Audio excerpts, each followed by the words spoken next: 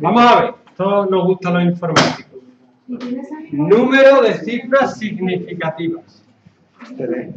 ¿Qué es el número de cifras significativas? El número de cifras que añade información a un número. Por ejemplo, yo te pongo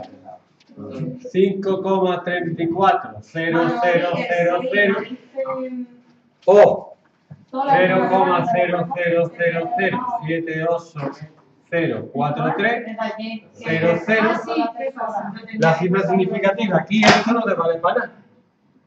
Yo no escribo esto. Tres cifras significativas. Y aquí, cinco. El primer día y se presentó y dijo nombre mía. ¿vale? Y cómo iba a puntuar, y cómo iba niña. Se sentó y dice, venga, vamos a hacer la prueba inicial. Nos tiramos un día con la prueba inicial. Y ya no ha empezado más a deber y tal.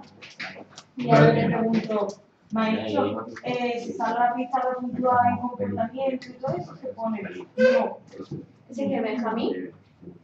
Ay, eso, que eso Y da un tío horrible ese. Tiene que sí, y te lo. Y tiene Vale, ya está. Pues no lo tienes. Uy, ¿qué me pasa? Pues Uy, que bien Oscar maestro. Lo dice gente que suspende, ¿sabes? En vez de dedicarse a estudiar, dedican a criticar profesor. En vez de criticar tanto, estudia. ¿Vale? Ya verás cómo te va mejor. Cojones. 1, 2, 3, 4, 5. Eso es lo que tiene que hacer es... Cifra significativa. 3.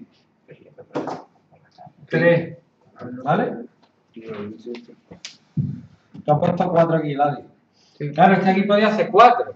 Porque que te pongan este 0 aquí, a lo mejor quiere decir que no es un 1. ¿Vale? Yo aquí a lo mejor lo he hecho mal. Porque si lo escribo, es porque a lo mejor no es un 1, pero a lo mejor redondea y me da 0. Pero el maestro dijo, A lo mejor es 0,3.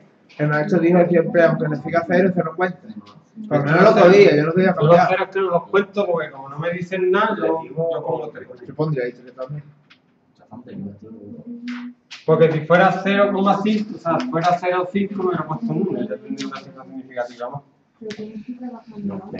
Pero depende. Y ahora operaciones en notación científica. Venga. ¿Sin o con calculadora? ¿La dio?